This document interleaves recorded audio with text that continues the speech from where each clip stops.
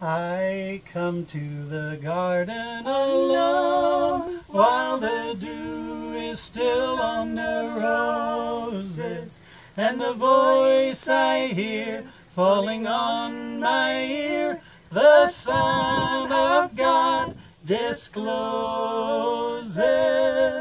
and he walks with me and he talks with me and he tells me I am his own, and the joy we share as we tarry there, none other has ever known.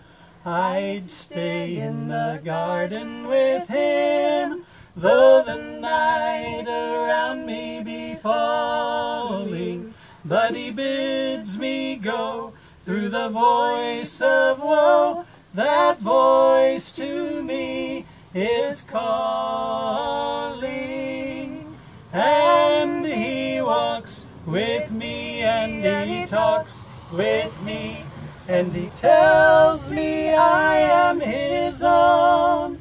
And the joy we share as we tarry there. None other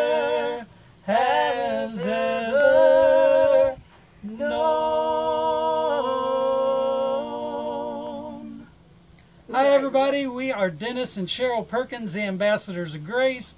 Tomorrow morning, Sunday at 9 o'clock a.m., we are going to be singing for the worship service at the Sweet Corn Days in Lime Springs, Iowa.